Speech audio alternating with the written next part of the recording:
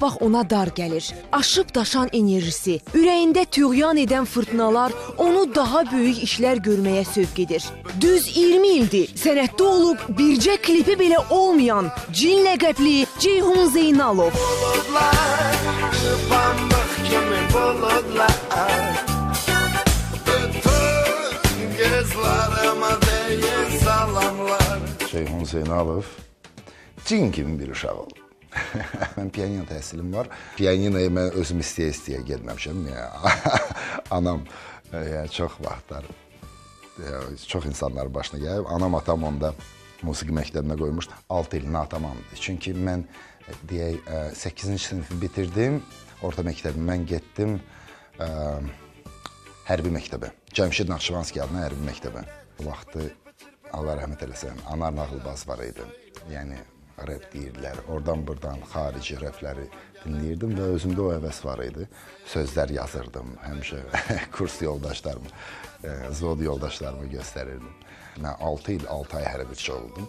İllər keçdikcə anlayırdım ki, mən hərbiçi olmaq üçün dünyaya gəlməmişəm. Mən çıxdım məktəbdən dedim ki, yox, mən musiqiçi olmaq istəyirəm. Ə, düzdür, heç kəs bundan razı değildi.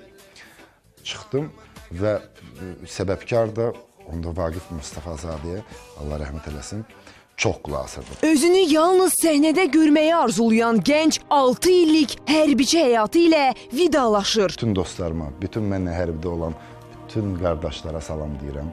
İstər ə, hərbi uçilişdə olsun, istər ə, əskərlikdə mənlə ə, əskərlik çəkən uşaqlara hər kəsə buradan salamlar. Arzuma çatmışam. Yəni o qədər insanlar var ki, onu eləyə bilməyiblər.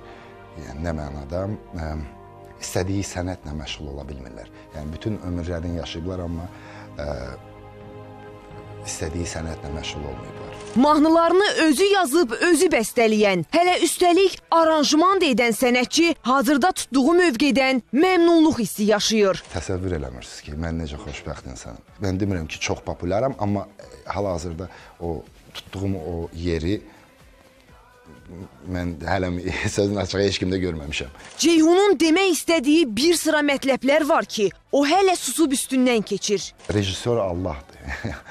yəni o müəyyən insanları sənin həyatına salır və müəyyən ə, insanlar, yəni lazım olmayan insanlar özləri yəni ki ə, çıxırlar sənin həyatından. Vaxtikən dostluq eləyib ə, həyatımdan çıxan insanlara da görə razıyam. Yəni mən bir sözlə öz tariximdən razıyam.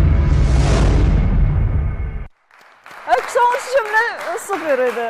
teşekkür, teşekkür. Gözəl. Can bir şey soruşacağam. Siz əskərdən oxuyurdunuz? Deyirsiniz ki, ə, arzuma çatmışam. da Əskər yoldaşlarınıza salam göndərdiniz Hə, hə. və arzuma çatmışam söylədiniz. Orada yəqin ki, danışırdınız ki, belə arzularım Ə, var. təbii ki, ə, mən ə, ə, müğənni olmaq istəyirdim. Aha. Ə, biz deməli Naxçıvanskidə mən artıq yazmağa başlamışdım. Belə rep, yəni o vaxt yazırdım. Rep sözlər, cızma qaralar eləyirdim. Sonra ə, ali məktəbə qəbul olunanda bir seksiya açıldı. Aha. Ə, musiqi seksiyası, ümumiyyətlə bu KBN belə deyək də, incəsənət seksiyası. bəli. Təbii ki, mən oradaydım. Orada birinci yerdəydim. Hə, və gördüm ki, yox, bu bilirsiniz, mən orada dedim, bilmirəm göstərmədilər. Ə, hərbi sənət deyil, hərbi yaşam tərzidir.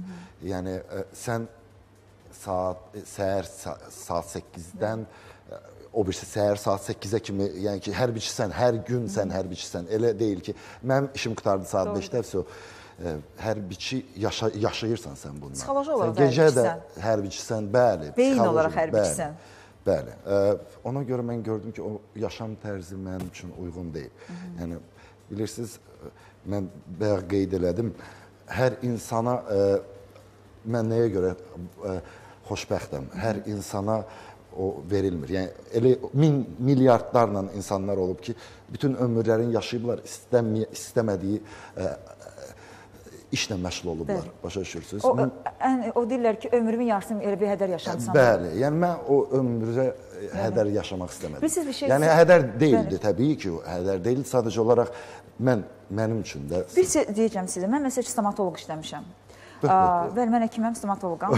E. Təsəvvür edin. Və mən hər dəfə xəstələrimi də mən də xəstələrimi salamlayıram burdan. Ə, və təsəvvür edin ki, hər dəfə müalicə edəndə, də indi xəstə gələndə fikirləşirdim ki, bu sən deyilsən. Bu sən deyilsən. Hər dəfə buna özümə deyirdim, bu sən deyilsən, bu sən deyilsən, bu sən. Mən ATV-də ə, castingdən keçəndən sonra burada şeydə insan mən yuxudan oyada bilmirdilər səhər işə getmək üçün də məsələn ə, xəstəxanaya da. Amma ATV-də mən səhər saat 6-7-nin yarısı işdə olurdum. Bir səhər efirə çıxa bildim. Məndəki ATV maşını bizi gəlib götürürdü ki, ə, rahat gələk də. hə. Elə həvəslə qalxırdım. Evdəki də valideynlərim deyirdi ki, biz səni qaldıra bilmirdik əvvəllər ki, sən insan onda haçan ki özünü xoşbəxt hiss edir ha işdə. Onda bilirsən ki, bu sənsən. Bəli, bu sən bunun üçün dünyaya gəlmisən. Həqiqətdir bu.